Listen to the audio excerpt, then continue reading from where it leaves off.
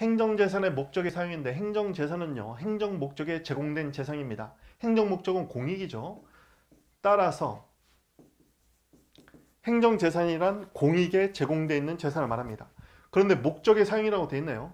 즉 여기서 말하는 목적 외에는 목적 이외에 간접적 목적에 기여하는 경우인데 행정재산의 목적의 사용의 대표적인 것은 예를 들면 어, 청사에 갔더니 거기서 매점을 운영하고 있다 이런 것들이 행정재산의 목적의 사용입니다.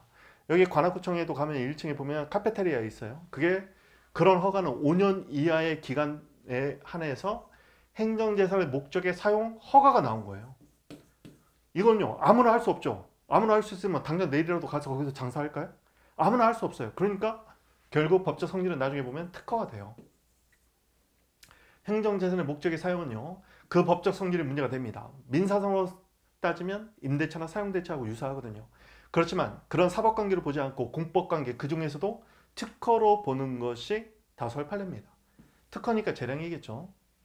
즉 행정재산의 목적의 사용에서는 그 법적 성질이 사법관계냐 공법관계냐 결국 결론 공법관계 공법관계 내에서도 어, 특허 사용관계다 이 정도만 알아두시면 됩니다.